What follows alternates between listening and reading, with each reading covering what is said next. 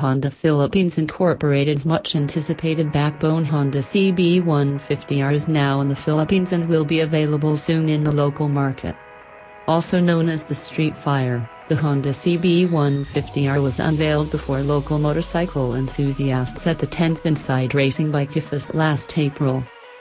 It is being targeted for local release on June 18. We were among the handful of media men who were invited to test the bike at the Honda Safety Driving Center and we have to say that it looks impressive. The Honda CB150R comes with an aggressive, sporty look.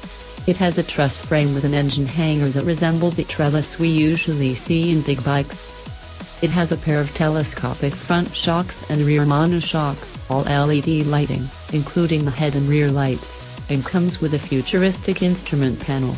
It also has a muscular 12-liter gas tank complemented with aggressive-looking fairings. Unlike most bikes, the key slot for its ignition is located just above the fuel tank.